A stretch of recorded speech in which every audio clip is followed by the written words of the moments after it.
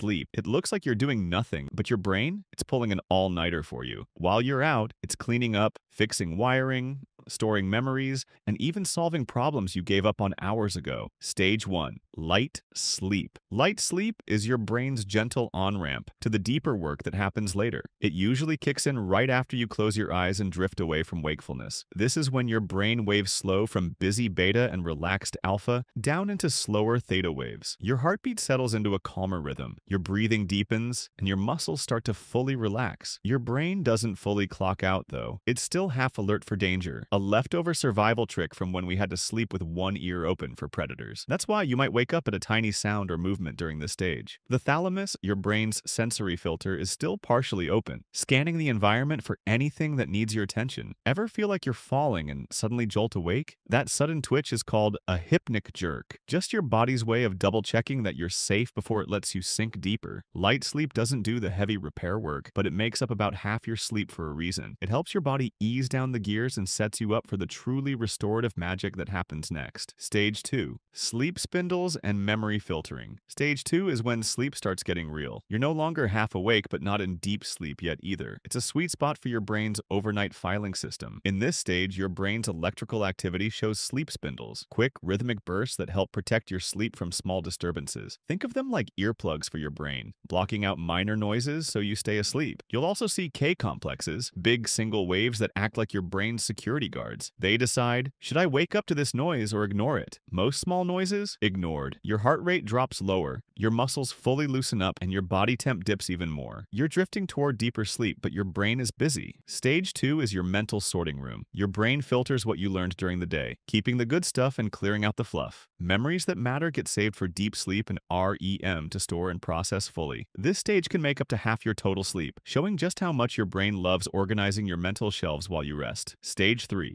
Deep sleep, body repair mode. Stage 3 is the big one. Deep sleep, also called slow wave sleep. This is when your brain and body go into full maintenance mode. Your brain waves slow down into long, deep delta waves that sweep calmly through your cortex, calming the chaos of the day. Your breathing is slow and steady, your muscles are completely relaxed, and your blood pressure is at its lowest. Growth hormone floods your system, repairing tissues, building muscle, and boosting your immune defenses. If you've worked out or gotten a cut, deep sleep is when your body does its best healing work. But your brain is scrubbing too. Deep sleep clears out metabolic waste, proteins and toxins that pile up while you're awake, through the glymphatic system. Think of it as your brain's night janitors sweeping out the trash before it causes damage. When you're sleep deprived, it's deep sleep that your body craves most. Miss out too often, and you're more likely to feel run down, get sick, and age faster. Without enough of this stage, even 8 hours in bed can leave you feeling groggy. So, if you want to wake up strong, clear-headed, and recharged, deep sleep is non-negotiable. REM sleep, the dream factory. REM sleep, short for rapid eye movement, is where your brain gets wildly creative. During this stage, your eyes flicker under your eyelids. Your brain lights up with activity, and you enter the vivid, often bizarre world of dreams. Your brain waves look surprisingly similar to when you're awake, but your body stays completely still. That's because your brainstem temporarily paralyzes most muscles, your built-in safety net so you don't act out your dreams. REM is when your brain sorts through emotions and stitches new experiences into long-term memory. It connects dots you didn't even know were there, which is why you can wake up with fresh ideas or sudden solutions to old problems. This stage is like emotional first aid too,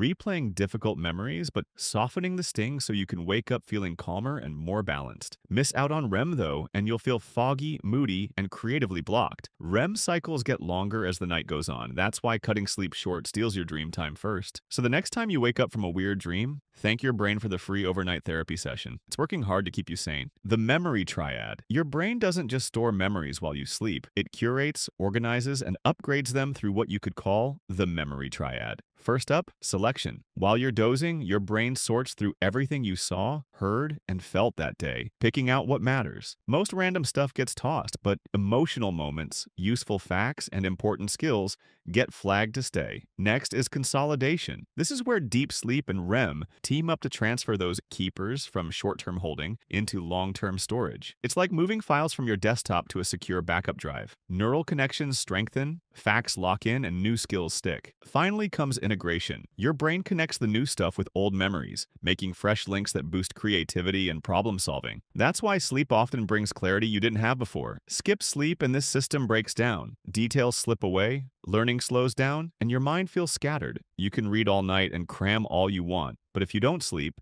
your brain can't seal the deal. Want sharper memory? Treat sleep like your brain's personal librarian about it, because that's exactly what it is. Your emotional reset sleep isn't just a break for your body, it's emotional housekeeping for your brain. As you cycle through deep sleep and REM your limbic system, especially the amygdala, your fear and emotion center goes through a nightly tune-up. REM sleep is your brain's built-in therapy session. It replays emotional memories but drains away some of their stings. So when you wake up, yesterday's stress feels lighter and arguments feel less sharp. Without this process, stress just keeps stacking up. Meanwhile, your prefrontal cortex, the logical, rational part, powers back up while you rest. A well-rested brain means better self-control and clearer thinking. You're less likely to overreact, snap, or spiral over tiny frustrations. When sleep is cut short, your amygdala stays on high alert. Small things feel huge and your reactions can swing from calm to meltdown in seconds. Chronic bad sleep can even raise your risk for anxiety and depression. So when you hear sleep on it, it's not just a saying, it's science. Sleep is where your brain processes yesterday's mess so you can handle tomorrow's chaos with a clear head and steadier heart. The cost of bad sleep. Losing sleep isn't just about feeling tired. When you skimp on rest, your brain and body pay the price in ways you might not see right away. For starters, lack of sleep stops your brain from clearing out waste proteins that build up while you're awake. Over time, this gunk can pile up and raise your risk of memory loss and diseases like Alzheimer's. Poor sleep messes with your mood too. Without enough deep and REM sleep, your amygdala, your stress center, goes into overdrive while your rational prefrontal cortex slows down. This combo makes you more likely to snap, stress out, or feel down for no clear reason. Your body takes a hit too. Bad sleep spikes your cortisol, your main stress hormone, which ramps up inflammation. Your immune system weakens, you crave more sugar, your metabolism goes off track, and your risk of weight gain and chronic disease climbs. Sleep debt stacks up like credit card debt. Each lost hour makes your brain foggier, your emotions shakier, and your long-term health riskier.